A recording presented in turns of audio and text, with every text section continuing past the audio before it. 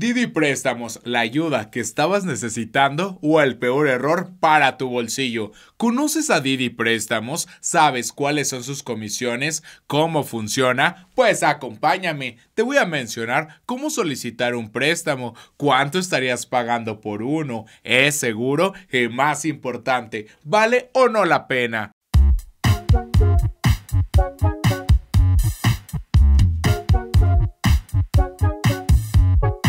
Hola, mi nombre es Rubén Darío. Estamos en Dinero Feliz. Si tú tienes la aplicación de Didi, te has dado cuenta que no solo es un servicio de transporte o de delivery, también ofrece productos financieros. Por ejemplo, una tarjeta de crédito de Didi, que ya hemos analizado en otro video y te lo voy a dejar de este lado. Pero además, más de una vez has recibido un mensaje de texto donde te anuncian sus préstamos de Didi Préstamos. ¿Qué tan buenos, qué tan recomendables y seguros son? Pues eso te lo voy a explicar. La neta, hacer la solicitud de un préstamo con Didi es muy sencillo. Cabe mencionar que lo mínimo que te pueden prestar son 300 pesos y lo máximo son 30 mil pesos. La solicitud la puedes hacer en la misma publicidad o bien entres a la aplicación de Didi en la parte de tu perfil, ahí está Didi Préstamos para realizar e iniciar esta solicitud. Como puedes ver en la imagen, la solicitud es muy parecida a cualquier otra. Te van a preguntar tus datos personales. La única documentación que vas a necesitar va a ser tu INE. También te van a solicitar tu clave interbancaria de tu cuenta de débito, ya que si se te aprueba tu préstamo Didi, ahí se te va a hacer la transferencia del dinero. No vas a necesitar ningún aval para la solicitud. Si te solicitan agregar dos contactos, los que tú quieras, que pueden o no llamarles, pero algo que me llama mucho la atención como alerta, como red flag, lo cual no me gusta, es que te van a pedir acceso a todos tus contactos pero pensando un poquito, todas las aplicaciones de préstamos hacen lo mismo, ya que si el cliente no paga, tienen el acceso a todos sus contactos para poder llamar, y esto yo lo consideraría como acoso. No creo que Didi haga lo mismo, pero te pregunto, ¿por qué otra razón te estaría pidiendo acceso a todos tus contactos? Hablando claro, si tú buscas un préstamo con un buen monto de dinero, por ejemplo 10 mil o 30 mil pesos, Didi como primera opción no va a ser para ti, ya que hay niveles con Didi y siendo sincero, al principio solo te van a otorgar desde 300 pesos y como máximo 3 mil pesos si va a ser tu primer préstamo con Didi. Ya dependiendo cómo vayas haciendo los siguientes pagos, puedes seguir subiendo de nivel, porque el primer nivel llega a los 3000, el segundo a 10000 y el tercer nivel son para los clientes que ya les autorizan hasta los 30 mil pesos con los préstamos de Didi. Pero en un inicio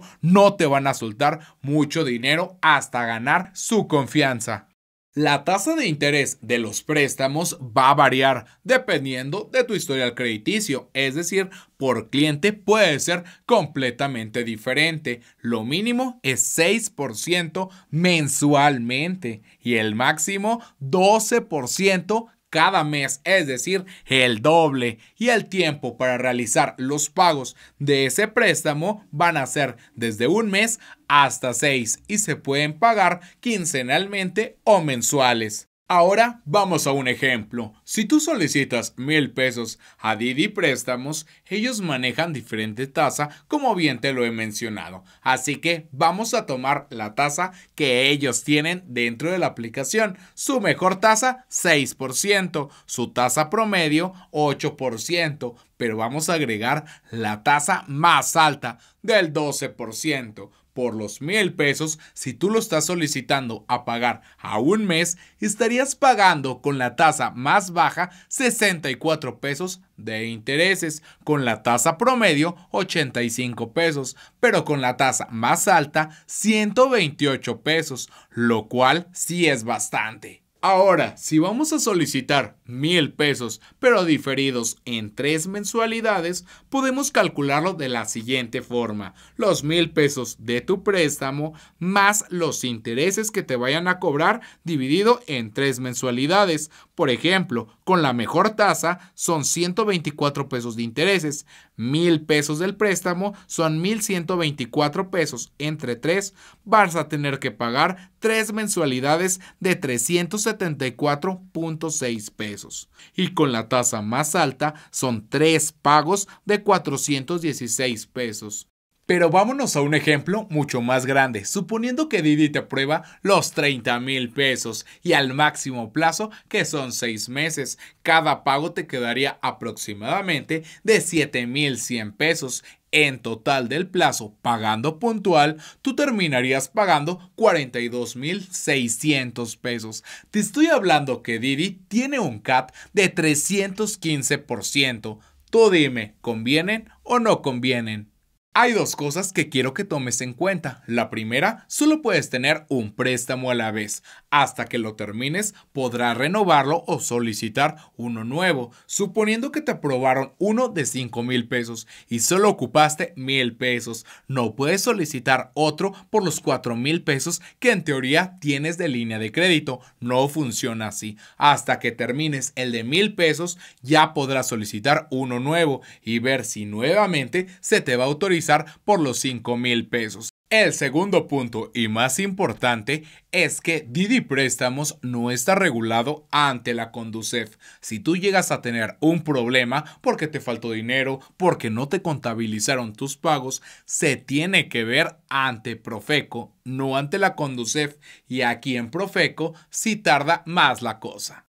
La neta, como te mencioné, Didi es muy sencillo de solicitar uno de sus préstamos. Incluso la solicitud no te toma más que unos minutos y la respuesta la vas a tener también al instante, por lo cual tu dinero podría estar depositado en unas horas el mismo día, máximo en 24 horas. Y eso es lo más atractivo que tiene Didi Préstamos. Pero la neta, si tú me preguntas qué es lo que yo te recomiendo, es mejor solicitar un préstamo en un banco, el que tú quieras, incluyendo Bancoppel, porque tiene una tasa de interés mucho menor a la que tiene Didi Préstamo y va a ser un monto mayor de lo que se te va a autorizar aquí. Mejor aún, solicita una tarjeta de crédito y no necesitas un historial crediticio para tener una tarjeta de crédito. La que yo te recomiendo, sobre todo para las personas que van iniciando y no tienen un historial crediticio ni cómo comprobar ingresos,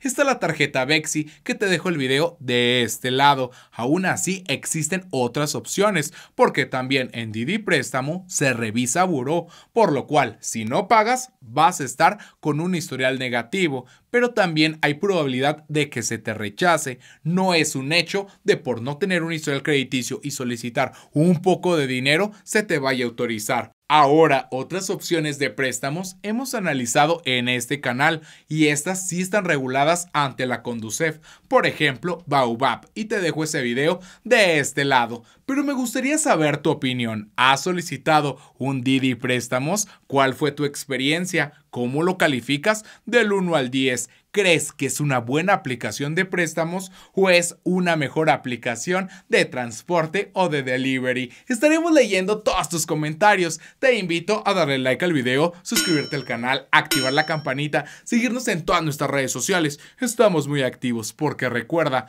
no es tan difícil como parece. Nos vemos. Bye.